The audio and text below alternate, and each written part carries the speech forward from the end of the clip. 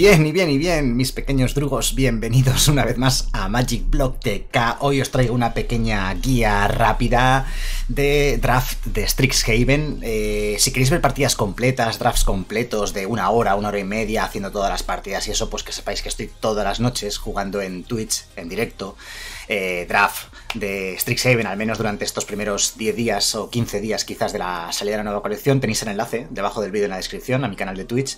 Pero eh, quiero traeros, como digo, una pequeña guía al menos de lo que son las cartas más importantes, más jugables, que más en cuenta tenéis que tener a la hora de jugar vuestros eh, drafts o, bueno, también mazos eh, cerrados o baraja sellada o como lo queréis llamar o limitado en general, ¿no?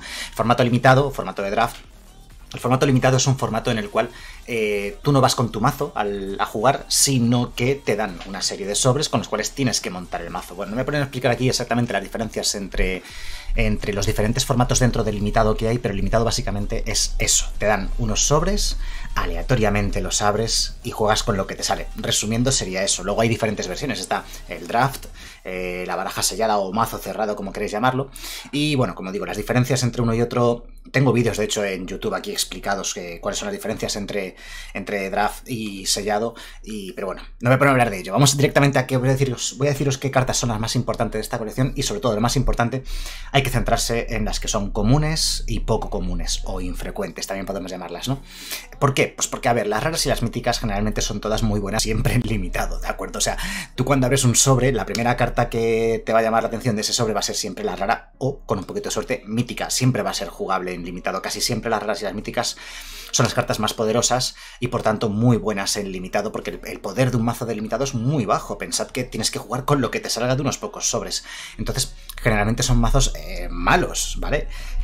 Hacer que funcionen es difícil, ¿no? Y la rara y la mítica siempre predominan. Pero ¿qué es lo que pasa? Que vas a abrir una rara o mítica por cada sobre. Es decir, que al final tu mazo pues tendrá muy poquitas raras o míticas, realmente una, dos, tres, incluso ninguna rara o ninguna mítica incluso en tu mazo delimitado y aún así ser un mazo ganador. ¿Por qué? Porque lo que realmente determina la calidad de tu mazo es la calidad de las cartas comunes e infrecuentes que llevas. Entonces os quiero dar una pequeña guía, un pequeño resumen de las cartas color por color que creo que son más importantes eh, dentro, de, dentro de Strixhaven y al menos también un poquito las combinaciones de colores más adecuadas si queréis eh, triunfar en vuestros primeros eventos de limitado. Eh, como digo, color por color, os voy a proponer una común y una infrecuente de cada uno de los colores y combinaciones de colores de Strixhaven y también comentaros un poquito cuáles creo que son más adecuadas. Eso sí, vais a notar que uno de los elementos clave que le da calidad a las cartas en esta colección es la, habilidad de aprender. Aprender que puedes, eh, digamos, puedes, eh, digamos, utilizar una carta de tu banquillo que sea de tipo lección, ¿no? Bueno, ahora vamos a hablar de ello, lo vamos a ver. Eso es bastante común. ¿Por qué? Porque las cartas de aprender y de lección son tan importantes, porque son dos por unos automáticos. Siempre que hagas dos por uno en Magic es muy importante y en limitado se nota todavía más. Venga, vamos a por ello. Dentro del color blanco, la común que no podéis dejar pasar es profesor de combate. Es un ángel de serra, porque si lo piensas es por 4 un 3-3 eh, lo de 3-3 lo digo entre comillas, vuela vigilancia. Es como un ángel de serra que sale por un mana menos. De hecho, por un mana blanco menos. O sea, es decir, es tan bueno como un ángel de serra. Entra un turno antes, lo cual es una ventaja, pega menos y aguanta menos, lo cual es una desventaja. Pero también es una ventaja que el mismo turno que entra en juego, ese más uno más cero y vigilancia, se lo puedo dar a cualquiera de tus otras criaturas. O a sí mismo después, más adelante. Entonces creo que, creo que esta carta es eh, una de las mejores comunes de toda la colección, sin ninguna duda. Y no la dejéis pasar si la veis. Bueno, salvo que haya una rara, una mítica, una bomba en vuestro sobre. Generalmente el profesor de combate es una carta que puede darte la idea de que tu mazo blanco delimitado es bastante bueno, ¿no? Y la carta infrecuente que os recomiendo no dejar pasar es profesora de simbología, precisamente por eso. Tiene la habilidad de aprender. Aprendes una lección de tu banquillo. Es decir, es un 2 por 1 Ya sé que la criatura es un poco me, porque por 2, un 2-1 sin más habilidad es muy mediocre. Pero bueno, en limitado es importante la curva de mana, es importante jugar criatura todos los turnos para meter presión, para tener presencia en mesa.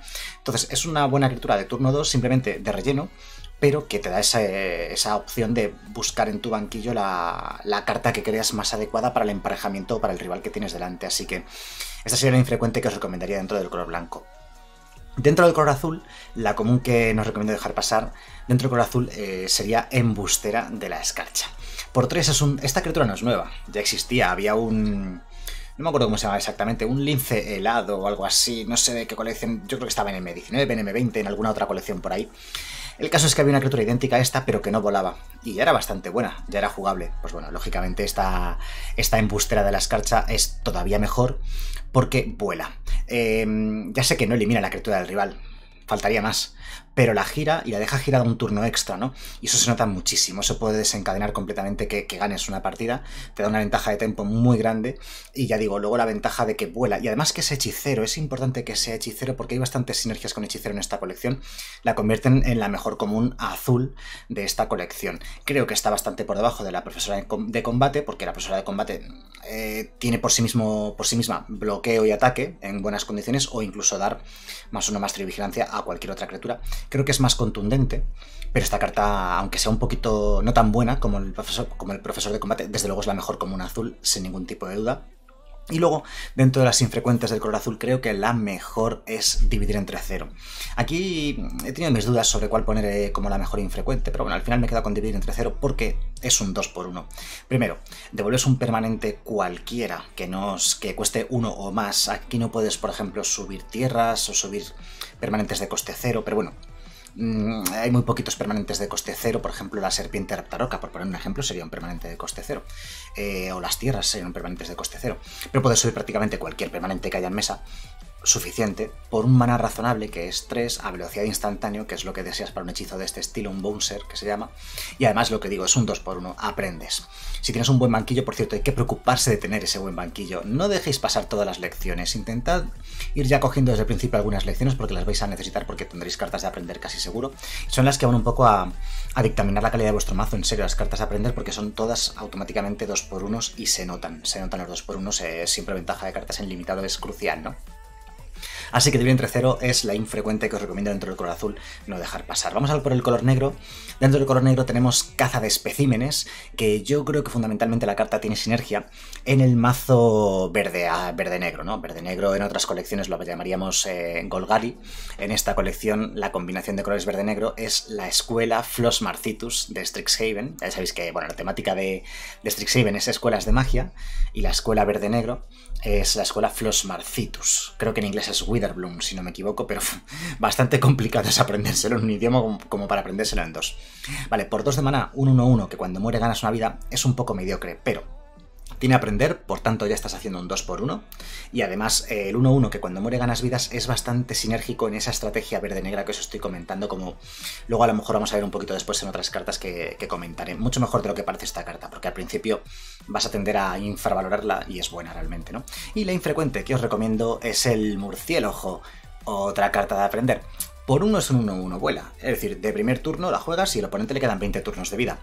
Obviamente no es su gran fortaleza, porque pegar 20 veces con un murciélago no, no debería ser tu win condition, ¿no? Pero bueno, es una criatura que puede hacer unos poquitos daños, es carnaza en mesa para mil cosas que puedes necesitar de sacrificar o lo que sea. Y lo importante es que cuando muere, aprendes y vuelves a convertir esta carta en un 2 por 1 Puedes recurrir a tu cementerio para. Digo a tu cementerio, perdón. Puedes recurrir a tu banquillo para buscar respuestas contra tu rival, ¿no?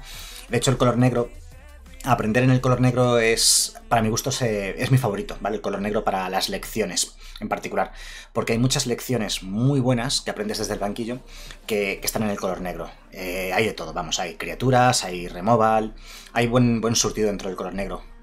Por eso, dentro de las infrecuentes del color negro, os recomiendo no dejar pasar el murciélago.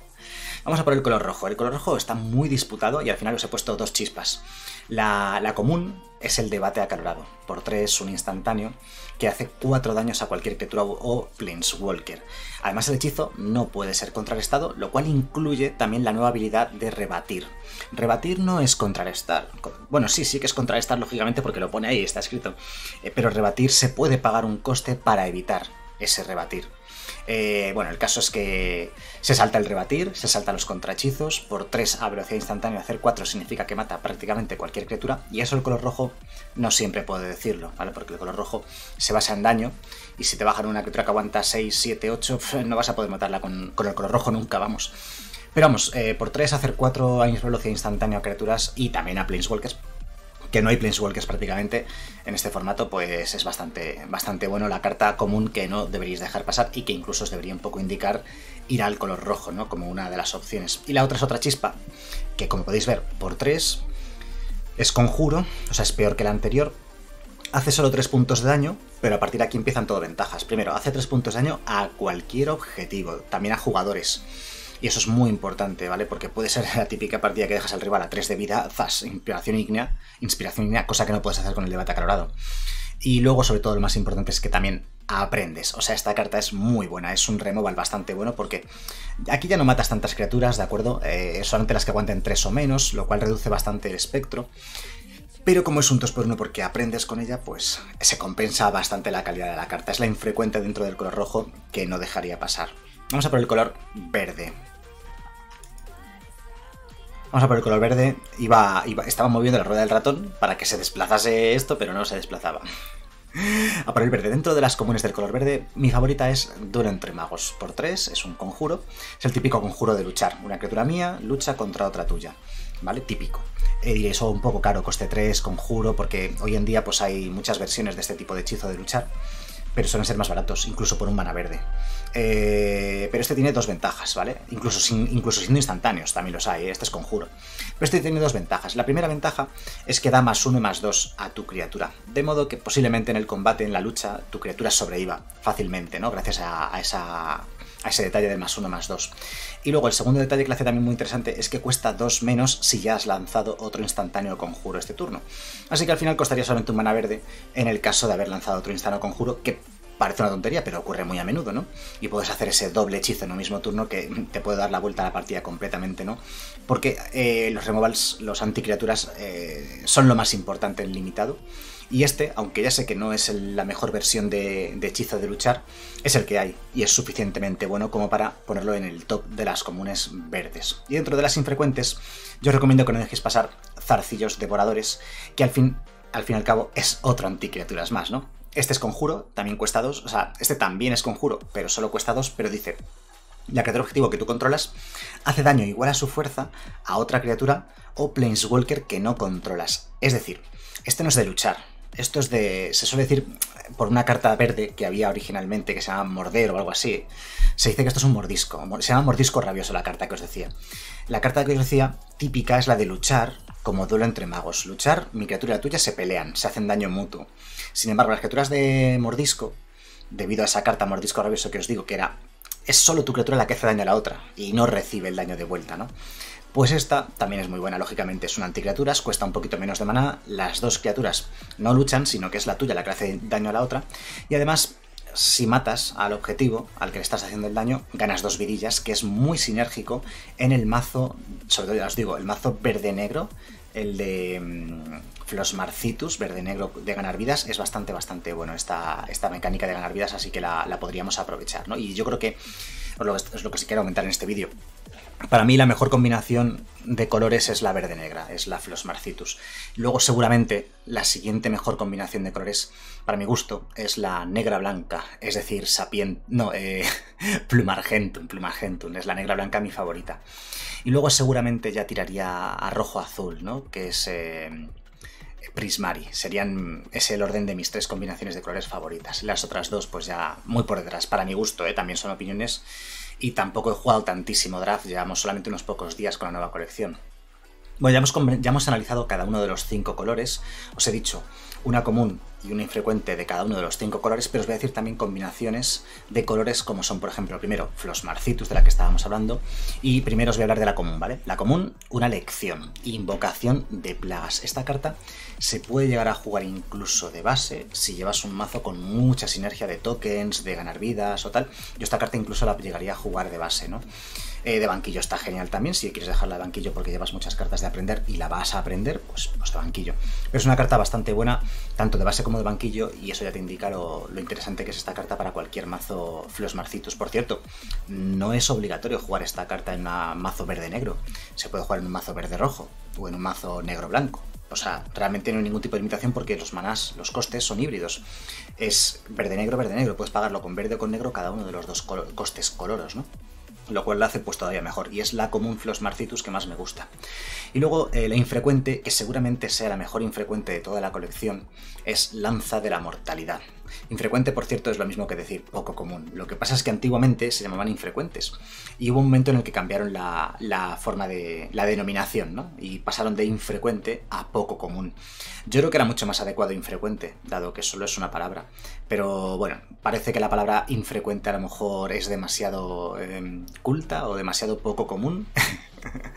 y por eso la han cambiado por poco común, ¿no? Supongo para que sea más cercana para la mayoría de jugadores. Bueno, pues como digo, lanza de la mortalidad, un instantáneo que destruye un permanente objetivo cualquiera, que no sea tierra, o sea, cualquier cosa a velocidad instantáneo, por 4 de mana ya sería buenísima. Pero es que además, eh, precisamente en la combinación Flos Marcitus verde-negra, es la combinación en la que más vidas se ganan. Es súper fácil que hayas ganado vidas este turno que este hechizo solamente te cueste 2 de mana. La carta es buenísima y de hecho es tan buena que yo creo que está en el límite de lo jugable, incluso en construido. En un mazo de ganar vidas verde-negro, esta carta se podría llevar perfectamente de base. Si tienes formas así más o menos consistentes de ganar vidas, te lo metes de base y, por dos a velocidad instantánea, romper cualquier, destruir cualquier permanente. O sea, ríete tú del trofeo de la asesina, por ejemplo. Vamos a por, ya digo, la mejor infrecuente de la colección, para mi gusto seguramente sea esta. Vamos a por las eh, cartas Quandrix, la combinación verde-azul, y empezamos por la común. Esta carta, así es como debió haber sido en su momento original eh, la espiral de crecimiento. La espiral de crecimiento era igual que esto, pero en lugar de costar 4, costaba 2. Pero en lugar de robar dos cartas, robabas una. Pero luego el efecto de poner tierra de la mano en juego también lo hacía, ¿no? Eh, tierra desde tu mano al juego directamente, ¿no? Sin contar como tierra de turno, lógicamente, claro, se entiende. Porque es mucho mejor la espiral de crecimiento si realmente dices, ah, pues cuesta la mitad, hace la mitad. No, la cuestión es que cuesta la mitad, eso es, que en el segundo turno ya la puedes estar jugando. En cambio, esta carta requiere ya hipotecar una cantidad de mana mucho más grande en turnos en los cuales seguramente ya cuarto turno estás deseando jugar hechizos mucho más poderosos que simplemente un acelerador de maná o un robot de cartas, ¿no? Aún así, la carta sigue siendo muy buena, como digo, eh, la espiral de crecimiento resultó ser prohibida al final en estándar porque era demasiado buena, ¿no? Cosa que no le va a pasar a momento de Eureka porque es una carta mucho más equilibrada, mucho más compensada. Es una carta que es buena, que yo creo que también, aparte de que en limitado es muy buena y que en construido es incluso jugable, eh, es una carta, digo, más, con más sentido, con más lógica y bastante, bastante buena. Una, una común bastante buena, ¿no? Por ejemplo, la combinación eh, Quandrix, que es la verde-azul, para mi gusto, es de las más flojas dentro del limitado de, de, Strixhaven. Las pocas veces que la he visto o que la he jugado, sinceramente me ha parecido muy poco consistente, con muy poca pegada. Se, se basa se basa en una serie de cartas contra las que, lo que yo he notado, el resto de colores y combinaciones de colores van muy bien, muy bien surtidas. Eh, no me voy a poner aquí a detallar todo, pero básicamente un poco el resumen es ese. Como que Quandrix tiene mucho counter en los otros colores, ¿no? En las otras combinaciones de colores. Y la infrecuente, que también es una... O sea, ojo, estas dos cartas, las, la verdad es que las dos cartas de Quandrix, la común y la poco común, son cartas de construido, ¿eh? Este rechazo decisivo lo veremos jugar en construido, si hay algún mazo verde-azul bueno, claro. Eh, tienes dos opciones, o sea, cualquier carta que te da dos opciones ya es buena, generalmente, porque te da versatilidad, ¿no? Y, o bien, haces que una criatura tuya eh, luche contra otra criatura que no controlas a velocidad instantánea por solo 2 de maná, dices, bueno, pues está bien, es como todos los hechizos de luchar. Sí, pero este es instantáneo, cuesta solamente 2, pero es que tienes una segunda opción. Puedes contrarrestar un hechizo objetivo que no sea de criatura, a menos que su controlador pague 3. Es decir, tiene versatilidad. Puedes contrarrestar un Planeswalker o hacer que mi criatura mate a la tuya. Depende un poco de la situación y del momento, ¿no? Para mi gusto es la mejor infrecuente Quandrix. Vamos a por eh, Prismari, la combinación roja-azul. Eh, la otra combinación que, bueno, la he puesto en tercer lugar dentro de las combinaciones, pero sinceramente no es... A ver, bueno, ahora lo vais a ver cuando comentemos las dos cartas. La común, creo que la mejor común es la invocación elemental y diréis, ah, pues vale, por 5 un 4-4. A ver, la gracia de esta carta es dejarla de banquillo y aprenderla. La aprendes con una inspiración ígnea y has matado un bicho del rival y encima has puesto un 4-4 primero pagando muchísimo mana por delante. Claro, 3 de mana de la inspiración ígnea, otros 5 de la invocación elemental, pero es lo que os digo, 2 por 1, ventaja de cartas, ¿no? Entonces, bueno, no es, una, no es una común que vayas a jugar nunca de base, la vas a dejar siempre en el banquillo para aprenderla. pero hace su trabajo. Un 4-4 siempre es un buen cuerpo en mesa, ¿no? Luego, la infrecuente de Quandrix que más me gusta es la iteración expresiva, que tampoco es una carta con una funcionalidad concreta o clara. ¿Veis lo que os digo? Que se ve muy claramente en, en, en en la verde negra, tienes un pedazo de removal y una carta súper sinérgica con la estrategia, ¿no? La común y la infrecuente son muy buenas de Flosmarcitus. Las de mm, Quandrix parecen bastante buenas, lo que falla es el resto de la colección generalmente en Quandrix.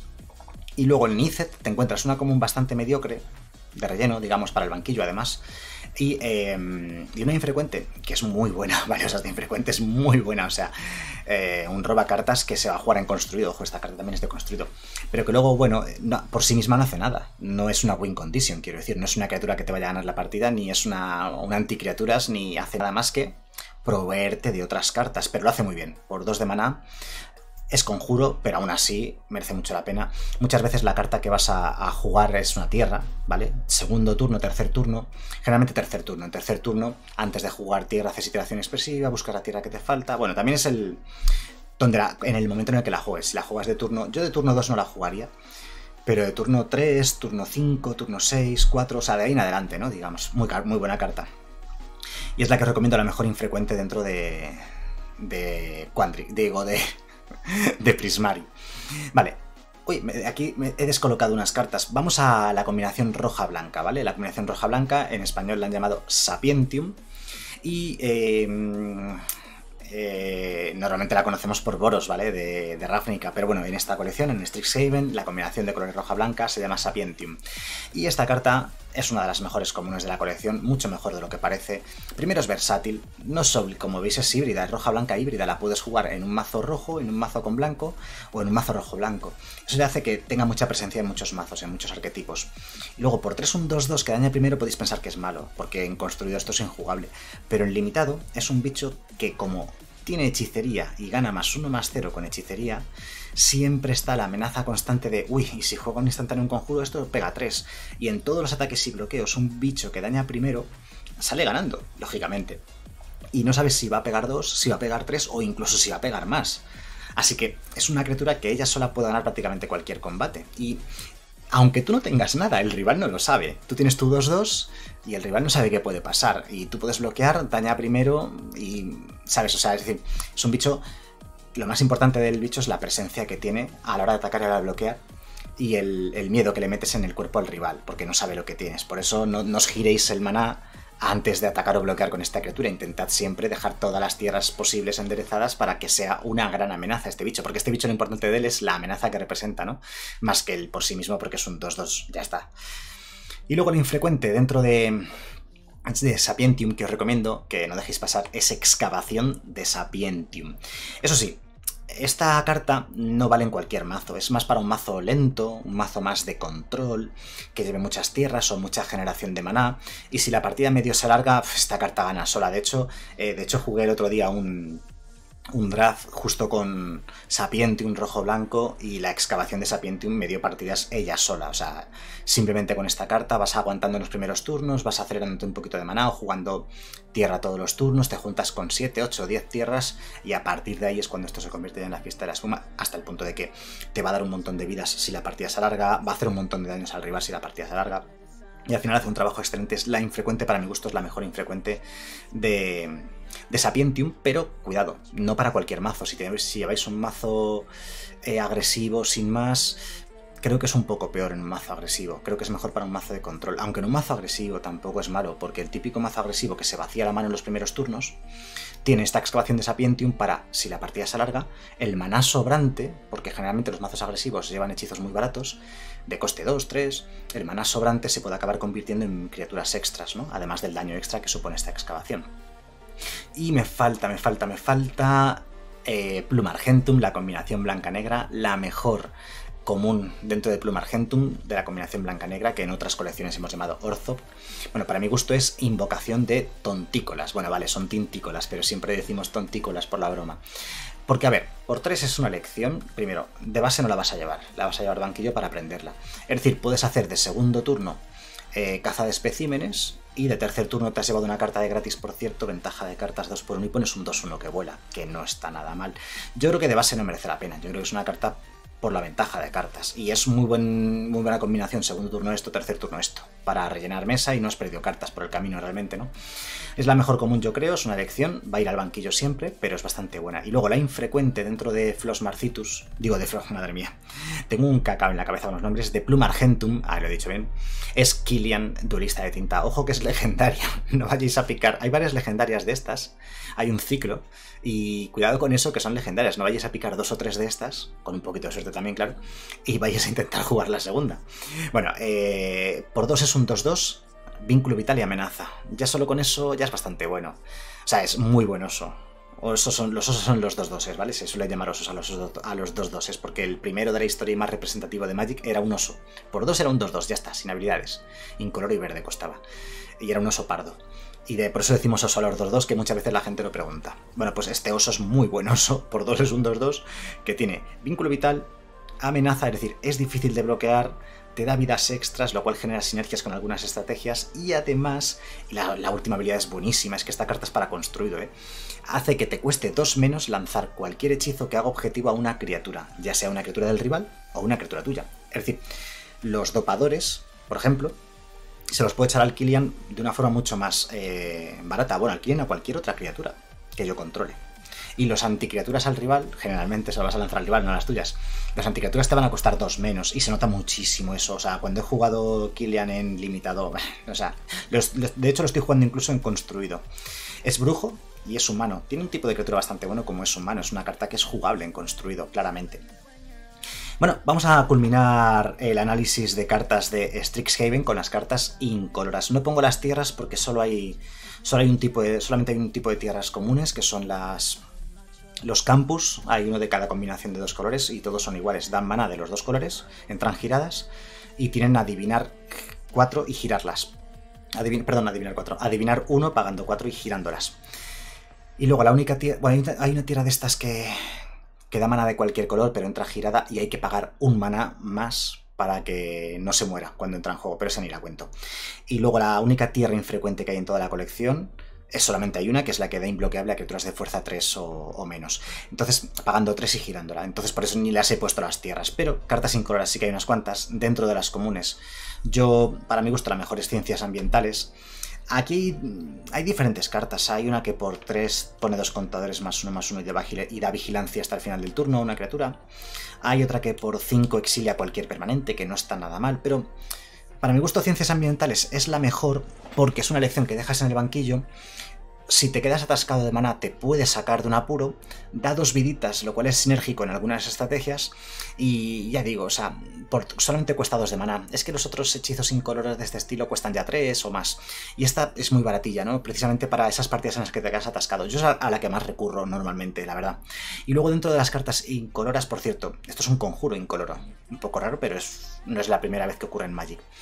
Esta sí es un artefacto, lo digo porque muchos estaréis habituados a que las cartas incoloras son artefactos, pero no es obligatorio que sea así. Hay muchas cartas incoloras y no son artefactos en Magic. Echad cuentas, fijaos en Ugin, por ejemplo, es incoloro y no es artefacto. Bueno, pues eh, dentro de las infrecuentes, que no hay muchas opciones, he elegido Bandera del Equipo. Una carta que la verdad que no la he jugado nunca, pero siempre me quedo con las ganas de jugarla. No está mal, los equipos, generalmente en estos formatos limitados, eh, marcan bastante diferencia. Más uno más uno. Vigilancia y arrollar puesto en una buena criatura significa que tienes un buen atacante, un buen bloqueador y que encima arrolla.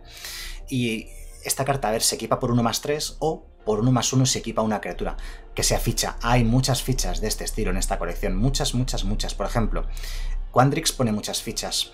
Hay muchas fichas que son lecciones que vas a aprender. Es decir, al final eh, vas a poder equipar por uno en muchas ocasiones de una forma decente, ¿no? Y por tres, pues, pues tampoco es tan caro.